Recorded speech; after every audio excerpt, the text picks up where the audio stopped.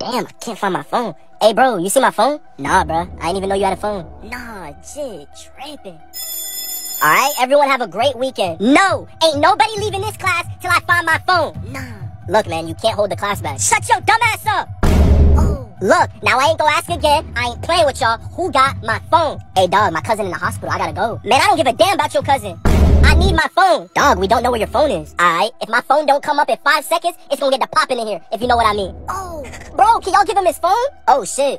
That bill was in my pocket this whole time. M my fault, y'all boys. Nah, Jit did the most for no reason. I thought I was finna die. That's crazy.